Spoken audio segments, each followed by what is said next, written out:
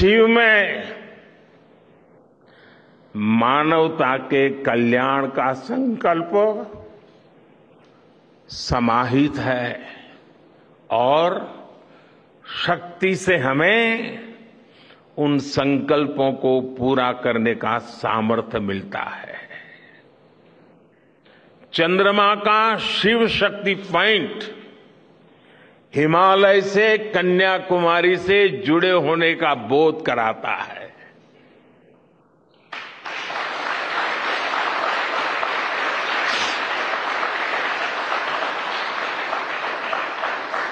हमारे ऋषियों ने कहा है ये न ये न कर्माण्य पशो, मनीषिणो यज्ञे।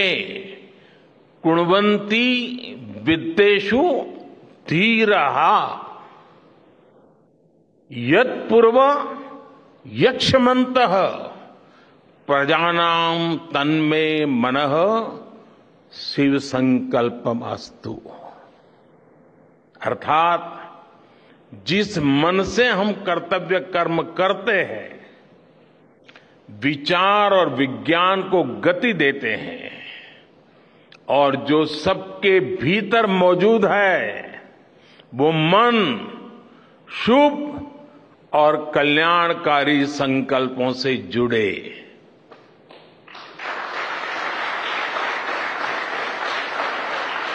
मन के इन शुभ संकल्पों को पूरा करने के लिए शक्ति का आशीर्वाद अनिवार्य है। और ये शक्ति हमारी नारी शक्ति है।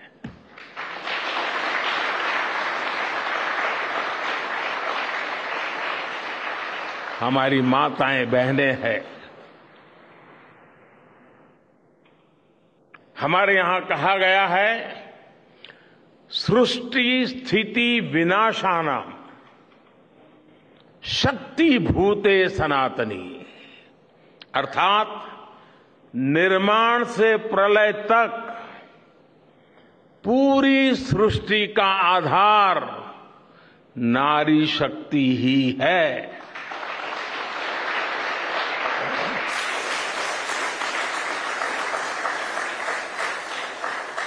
आप सबने देखा है चंद्रयान थ्री में देश ने हमारी महिला वैज्ञानिकों ने देश की नारी शक्ति ने कितनी बड़ी भूमिका निभाई है। चंद्रमा का शिव शक्ति पॉइंट सदियों तक भारत के इस वैज्ञानिक और दार्शनिक चिंतन का साक्षी बनेगा।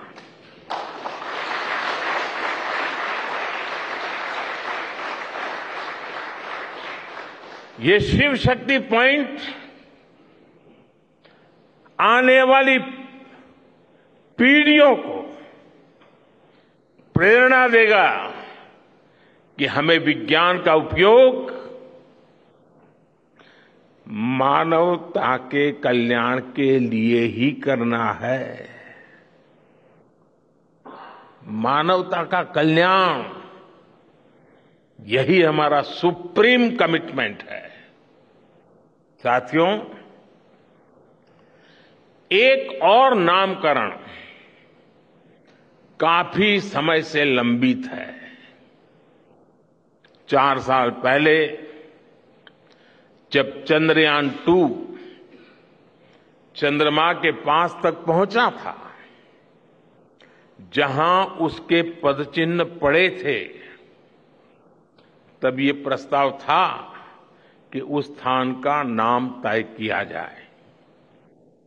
लेकिन उन परिस्थितियों में निर्णय लेने के स्थान पर हमने प्रण लिया कि जब चंद्रयान थ्री सफलतापूर्वक चाँद पर पहुंचेगा, तब हम दोनों पॉइंट का नाम एक साथ रखेंगे।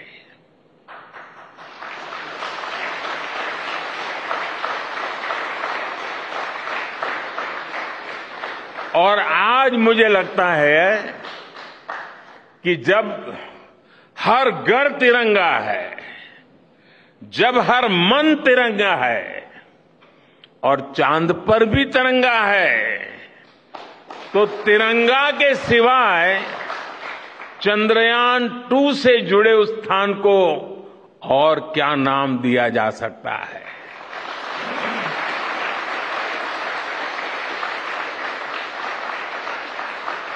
इसलिए चंद्रमा के जिस स्थान पर चंद्रयान टू ने अपने पद चिन्ह छोड़े हैं, वो पॉइंट अब तिरंगा कहलाएगा।